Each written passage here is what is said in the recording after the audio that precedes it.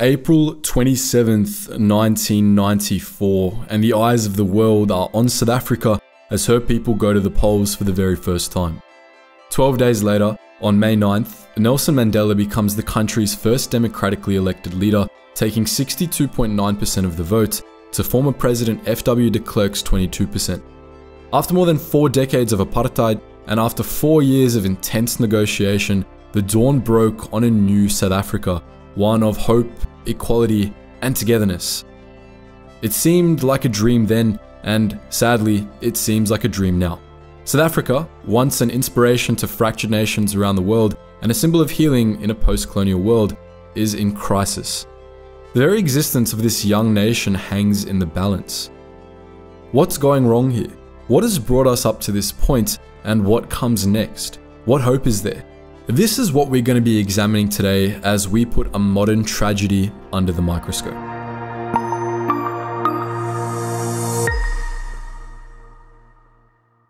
Load shedding is nothing new in South Africa. Since 2007, South Africans have battled with power outages and blackouts as the country's energy providers fight to keep the nation from total collapse. If you've never heard of load shedding before, you're probably not alone. This process, in which energy usage is controlled by planned outages at scheduled times, simply doesn't happen in most other countries where energy supply keeps up with the needs of the population. If you've spent any time in South Africa, however, you'll know all about this. You'll know about the struggle to make power output match up with demand. So, who's in charge of this load shedding? Well, that would be Eskom, the body overseeing South Africa's power utility. Eskom announced the need for load shedding 16 years ago, and the people have been putting up with interruptions ever since. During COVID, however, things got worse. Much worse. On September 17, 2022, Eskom announced a move to stage 6 load shedding. Basically, the shortfall between supply and demand was worse than ever before, to the tune of an astonishing 6,000 megawatts. This meant rolling blackouts as many as 18 times over 4 days in the worst hit areas, with outages lasting up to 4.5 hours at a time. The new status of permanent load shedding essentially means the country can look forward to another 2 years of this, power cuts on an almost everyday basis. This is simply no way to live, and it's ordinary South Africans who are paying the price. For example, a user of the Q&A platform Quora, Michael Coburg, described how he and his family rely on rainwater tanks to ease their spiraling water bills following the death of his father. But this means relying on pumps and filters which just do not work during power outages. Another South African Quora user, Selma Shipman, wrote about how it costs her 1000 Rand, almost 54 US dollars, each week to keep her generators running during stage 6 blackouts. As a pensioner, these costs are crippling Selma. Is there no way out of this cycle of shortfalls and power cuts? There should be. Some have cited the stranglehold that fossil fuel companies hold in South Africa, suggesting that a move toward renewable energy sources or an expansion on the already existing nuclear grid could ease some of the burden. Others have suggested a more deep rooted problem corruption. In 2019, two former Eskom managers were arrested on charges of corruption and fraud totaling more than 745 million rand or 51 million US dollars at 2019 rates. More recently, it's been suggested that corruption at Eskom went all the way to the top, as it was alleged that President Cyril Ramaphosa and senior members of his cabinet knew about the corruption at the heart of Eskom. Andre de Ruyter took over at Eskom in January 2020, becoming the energy body's 12th CEO in a little over a decade. De Ruyter was public in his calls to root out corruption at the organization, something which evidently did not sit well with some of the shadier characters involved. In December 2022, following the shift into stage 6 load shedding, De Ruyter became yet another casualty of the Eskom hot seat when he resigned from his post. But he very nearly became a casualty in the truest sense of the word. Speaking after his resignation, De Ruyter explained that Eskom was now a target for organized criminals and corrupt politicians, and that an attempt had been made on his life with cyanide-laced coffee, something De Ruyter was lucky to survive. But will South Africa survive this rampant corruption and organized thuggery in the institutions that are supposed to serve her? For now, this remains to be seen. For many South Africans living and working abroad in relatively safe countries, returning to the country means rewiring the brain to adapt to the danger South Africa poses on a daily basis. The jewelry and watches you wear in another country might come off, and your phone stays concealed in many areas. Your car doors get locked and stay locked. Traffic lights and stop signs become risk assessment operations, with you looking around for potential danger in the form of hijackers. Houses that would sit serenely on quiet streets in other parts of the world are sealed off behind two layers of gates and walls, topped with electrical fencing and an alarm system with a direct link to a private security firm. And that's if you're lucky. And you also heard that right, it's not the police, but a private security firm. And these firms are armed semi automatic rifles, body armor, pistols, you name it. Now, from Sydney to Southampton and from Paris to Pittsburgh, there are areas where it's best to keep your wits about you, but they all still pale in comparison to the instability and insecurity faced by South Africans on a daily basis, proven by the insanely elevated protective measures we just mentioned. Areas like Mitchell's Plain in Cape Town and Hillbrow in Johannesburg, just to name a couple, have become total no-goes for anyone not well acquainted with the place, and even then, it's best to take precautions. So, what's going on here? The first thing that jumps out at us is a loss of control from the ANC government. In February 2023, Police Minister Bheki Cele released the violent crime statistics for the three month period between October 1st and December 31st, 2022. They make for a pretty grim reading.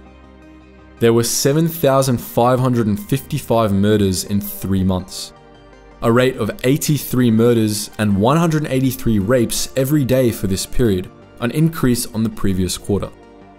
Action Society, a civil movement seeking to bring about a safer South Africa, was quick to criticize Cele and his fellow ministers, saying they had lost the war against crime and describing how the country has fallen into a bloodbath.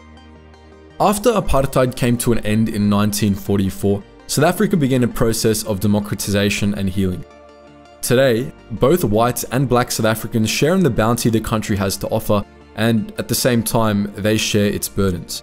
Violent crime is one of the biggest and most horrifying of these burdens, and it should be noted that it doesn't disproportionately affect one race over another.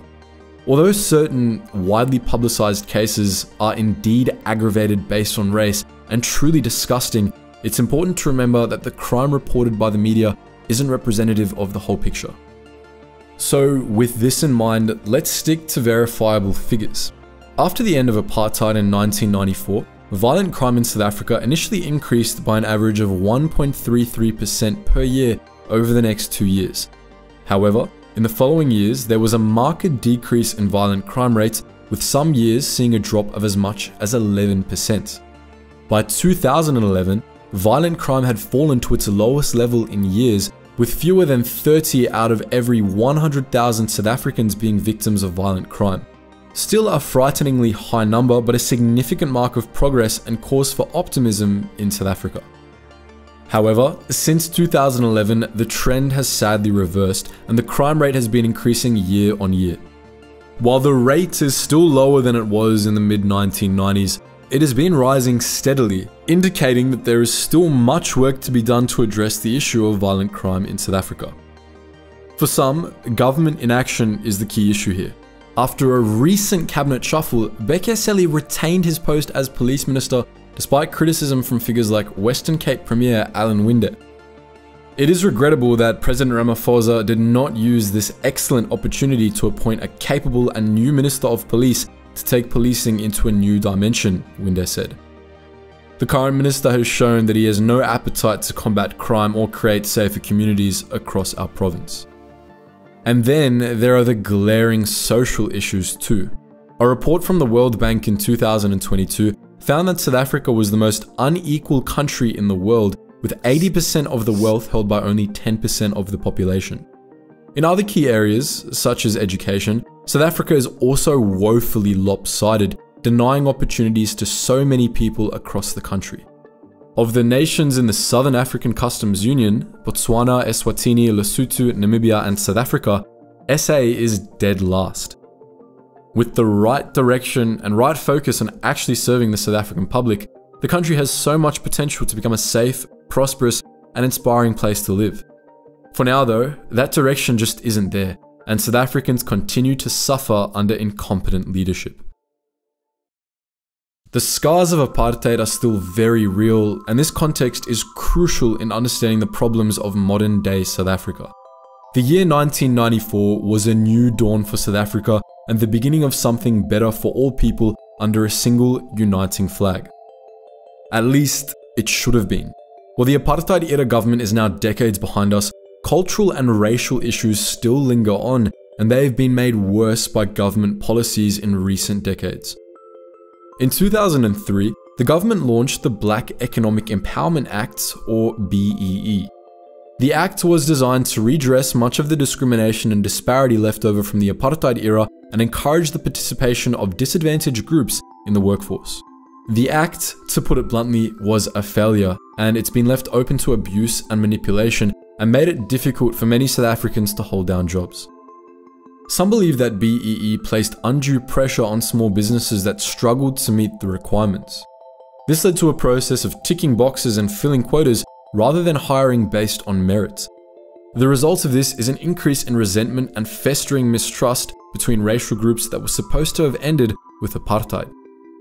Then there's the question of corruption, which never seems to be far away in South Africa. In 2015, Tegeta Resources won a huge contract with Eskom, allegedly by supplying fraudulent BEE certification documents. As well as Tegeta, enterprises Optimum and Trillian were also alleged to have won contracts in the same manner. The continuous shakeups and updates for BEE over the years has only served to increase red tape and make it harder for companies in South Africa to operate. It's clear that the manner in which the ANC government has handled the shifting economic conditions post-apartheid leaves much to be desired. Almost three decades after the end of apartheid, economic disparity, racial segregation, and cultural resentment still exist in some form or another in South Africa, and all still need to be meaningfully addressed. Hope, a brighter tomorrow, a country that all of us can share and be proud of. These are things that South Africans have desperately tried to hold on to despite the rapidly deteriorating conditions of the country. But many South Africans have already had enough. There's nothing wrong with this. If you've got the means to head elsewhere in search of a better life for you and your family, why shouldn't you? In fact, why wouldn't you? Statistics South Africa indicates that roughly 100,000 people leave South Africa per year, with an estimated 110,000 leaving in 2020 and an estimated 127,000 in 2019. And the figure might be even higher than this. In total, there are approximately 2.4 million South Africans residing overseas, with most seeking out greener pastures in Australia, the UK, the USA, and New Zealand. When you keep in mind that South Africa only has a total tax-paying base of 5.2 million individuals who supplied 40% of South Africa's total tax revenue in 2022, the amount of tax-paying South Africans leaving becomes staggering. To further add to the instability facing South Africa in the future, more than 53% of skilled university graduates said they might leave South Africa if the situation does not change. South Africa could be losing the very people best positioned to bring about a brighter future. The official unemployment rate in South Africa is expected to hit 35.6% in 2023. The disruptions caused by governments around the world during COVID hit South Africa hard and recovery has been slow. Currently, the percentage of people out of work in South Africa is the highest on the continent. This, coupled with massive rates of immigration, is shrinking the tax base, a tax base that has already been put through the ringer after years of instability and uncertainty. In an effort to counteract this, the government has suggested measures to increase the revenue flowing into state coffers. However, these measures have proved controversial. One of the proposed approaches was to reform the digital taxation system, generating revenue from companies such as Netflix and Amazon that are based abroad but draw significant profits from within South Africa's borders. This sounds feasible, but specialists have noted potential obstacles. One is that international bilateral taxation agreements are already in place, which may prevent South Africa from applying these taxes at all as international law trumps domestic law. Another is that many of the biggest targets for this new levy would be American corporations such as Netflix and Amazon, which we've already mentioned. The fear is this could result in accusations of unfair treatment and leading to trading disagreements, further harming the South African economy. To grow the tax base, South Africa may be better served by looking inwards and solving some of the problems that are driving young, skilled workers away from the country. But what about those people still based in South Africa who rely on government funding and public works? For South African residents and taxpayers, there are still serious questions to be asked. For instance, where is the money going? Public infrastructure is in a sorry state. Of 824 municipal water treatment plants across the country in 2022, only 60 were releasing clean water. Hospitals in places like Gauteng, as well as elsewhere across the country, have been described as a mess, with the South African Medical Association putting a desperate appeal for intervention. And then there are other things we've discussed. The police, for example, are largely useless if you run into any serious bother, which unfortunately is more likely than in other parts of the world. And how about Michael Koberg, who relies on pumps, filters, and rainwater tanks for his home? And Selma Shipman, who can barely afford to run her generators on her pension? And what about the educational disparity we've touched upon? All these things mean money, paying for private security, paying for your own utility solutions, paying for private healthcare and education. And all this while paying taxes as well and high taxes at that, it's easy to see why so many people are now at their wits' end. The tax black hole adds insult to injury. When we factor in the blatant corruption in the institutions that are supposed to serve ordinary South Africans and the fact that there's money in the country, but it's just concentrated among the elite few politicians, it's a pretty bitter pill for taxpayers to swallow. In fact, of South Africa's 257 municipalities, only 16% received a clean audit in 2022. There's no clear answer to this one. The problems are evident at both ends, from the shrinking tax base to the seeming unaccountability of public coffers. The thing is, many South Africans still retain some semblance of pride for their country, and they'd be happy to pay taxes if they knew it would be going to something functional and worthwhile. By fixing the enormous wealth disparity and the mismanagement, for want of a better word, of public funds, public works can be funded in this way. It's just difficult to see an end to the current situation, and for many South Africans, they're simply done with seeing their taxes frittered away with nothing to show for it. When hard times push a country and a people to breaking point, sometimes, somehow, amazing things can happen. There's still voices of opposition in South Africa, and there's a growing understanding of the desperate conditions that the country faces. By rooting out corruption fostering a sense of togetherness and shared engagement in South Africa, the new generation, the politicians, governors, scientists, and businessmen of tomorrow can forge a new path for the country. This will not come easily, and there are troubled times both at the current moment and in the years to come. But losing hope means losing everything. Despondency gets South Africa nowhere. Instead, if there's to be a bright future for this country at Africa's southern tip, it must come from solutions. Real, workable solutions that meet the desperate needs of the nation and its people. With this video, we set out to be honest, to lay bare the issues that are plaguing South Africa at present. This means confronting the facts, good and bad, and looking with clear eyes at what's gone wrong. We don't have any answers for the issues South Africa is facing, but we do know that modern South Africa is a beautiful thing despite all the turmoil. By confronting its failings and by tackling these issues head on, hopefully South Africa and her people can forge on and the country can regain a semblance of normality. But what do you think? Do you think South Africa's governing party, the ANC, will be voted out in 2024 after 30 years of controlling South African politics? If you're South African, let us know in the comments section below what your plan is. Are you staying or are you planning to leave? Let us know all that and more down below. As always guys, thank you so much for watching and I hope you learned something new.